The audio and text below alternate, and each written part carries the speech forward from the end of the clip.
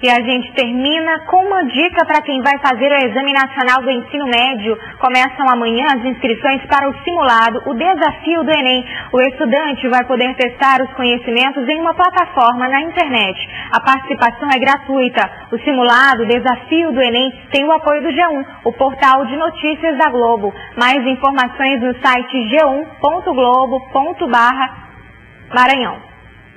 e o RBTV de hoje fica por aqui. Mais notícias você acompanha no Jornal Nacional. Uma boa noite a todos.